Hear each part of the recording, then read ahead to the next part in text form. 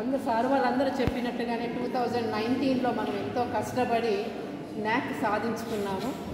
అదే కష్టంతో ఇంకా నెక్స్ట్ వచ్చేటటువంటి దీంట్లో కూడా మంచి గ్రేడ్ మనము సాధించాలి అని ఈ నూతన సంవత్సరంలో మొదటి దినంలో అందరము కూడా ప్రతిజ్ఞలాగా తీసుకొని అందరూ కష్టపడి పని చేస్తారని ఆశిస్తూ సెలవు తీసుకుంటున్నాం. Once again happy new year.